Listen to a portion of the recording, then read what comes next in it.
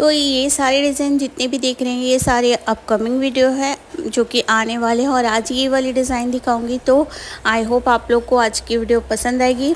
बहुत यूनिक और बहुत एंटिक कलेक्शन है, जो कि बहुत ज़्यादा आप लोग को पसंद आएगी।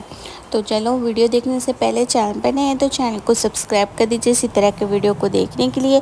और वीडियो पसंद आए तो वीडियो को लाइक शेयर ज़रूर कीजिएगा। तो चलिए, प्यारी सी नेकलेस के प्यारी सी इयर के साथ में वीडियो को स्टार्ट करते हैं और देखते हैं इयर कैसा है इस वाले नेकलेस में।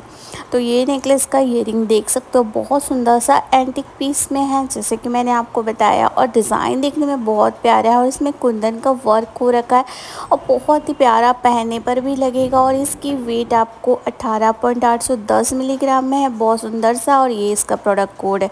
तो आप लोग इस तरह के एंटिक पीस की ज्वेलरी ले सकते हो। अगर आप लोग अच्छी अच्छी डिज़ाइन पहनना पसंद करते हो तो इस तरह के नेकलेस को आप किसी भी गेट टुगेदर पार्टी में पहन के जा सकते हो।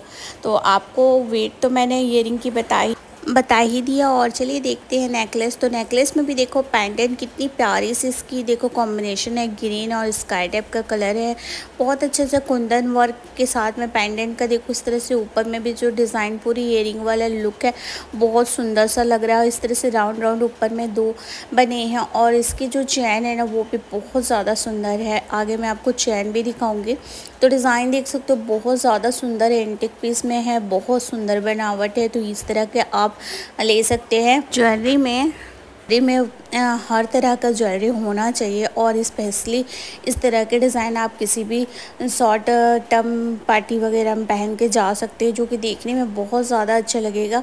इसमें देखो इस तरह से डोरी दी हुई है, जिसमें आपका पर्ल का इस तरह से बना हुआ है और ये इसका प्रोडक्ट कोड है और इसकी वेट आपका तिरालीस पॉइंट एक सौ छियानवे मिलीग्राम और पूरा टोटल ग्रोस वेट है दोनों की ईयरिंग और नेकलेस दोनों की ही ग्रोस वेट आपका टोटल सिक्सटी टू ग्राम का दोनों सेट आपको मिल जाएगा जो कि एंटिक पीस में है। तो आई होप सो आपको ये डिज़ाइन पसंद आई। कैसी लगी डिज़ाइन कमेंट करके ज़रूर बताइएगा।